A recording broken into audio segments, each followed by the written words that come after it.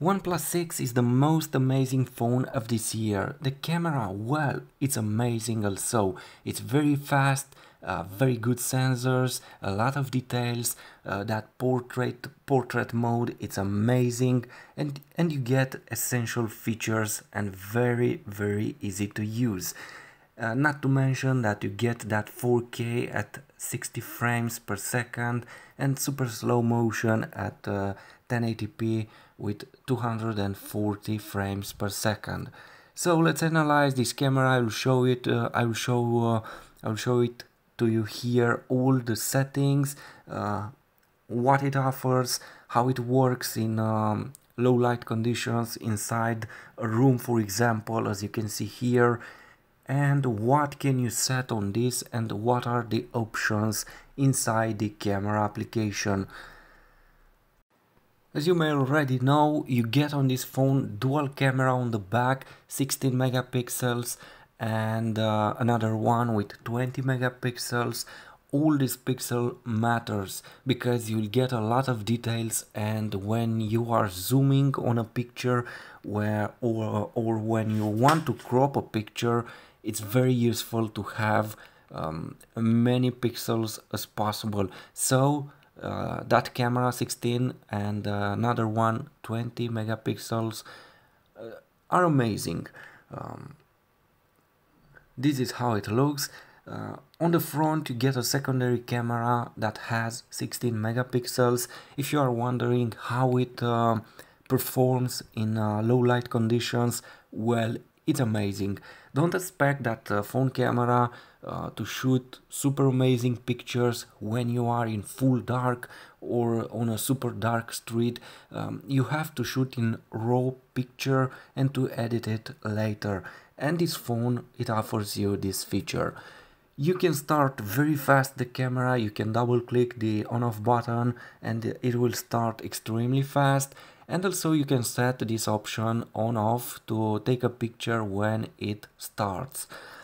As you can saw earlier it is very fast and also when you take pictures it works extremely well. You get all these features. You can select timer you can select HDR on off or automatic. You can select the um, uh, the image uh, the image uh, aspect ratio uh, 4 by 3 19 by 9 and 1 by 1 and also you can select obvious uh, the flash. In, in this way you can um, you can touch your screen and select the area where you want your camera to focus. As you can see here very simple. Also you can touch and hold your finger to block that uh, focus and uh, to maintain it. This is the portrait portrait mode. An amazing um, an amazing feature on this phone. Uh, I have also the Galaxy Note 8 it has also a feature like this but this one on the on the OnePlus uh, 6 it's much way better. You can uh, take a portrait mode with this depth effect very close to your uh, to your object and also you can take it up to 2 meters away from your object. With the Galaxy Note 8 you have to stay uh, far away from your uh, for, from your object. You can take a picture uh, that close and to have this uh, portrait effect. I don't know why. These are the images images as you can see I'm very very close uh, to to this object and I still am able to take this uh, portrait effect you can change um, you can change from portrait to photo or video just sliding uh, left right on your screen. And also you have this uh, 2x uh, possibility. But take care the second camera is not is not there for um, for a zoom effect. It's there for your portrait effect for that depth effect.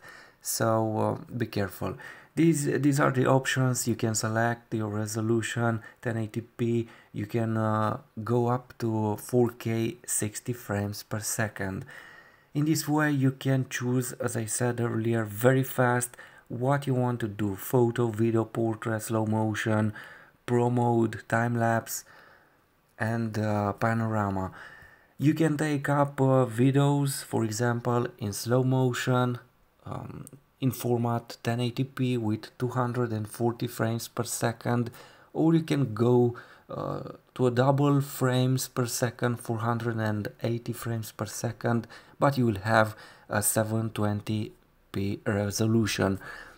I will choose always the 1080p resolution because the video will be uh, amazing and uh, you will get a lot of details and a better resolution and the slow motion effect is impressive here at 230 frames per second.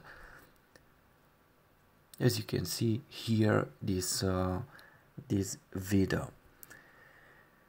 Okay this is the pro mode.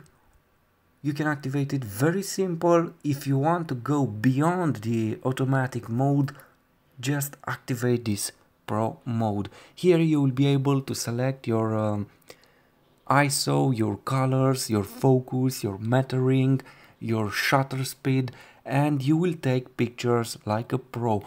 Uh, it's it's very well made and very simple to to interact with this pro mode as you can see here. And I really like this uh, this design and this interface anyway it depends on you. In my case I'm 99% using the automatic mode because it, it is uh, well optimized. All your pictures will uh, will be clear and very beautiful.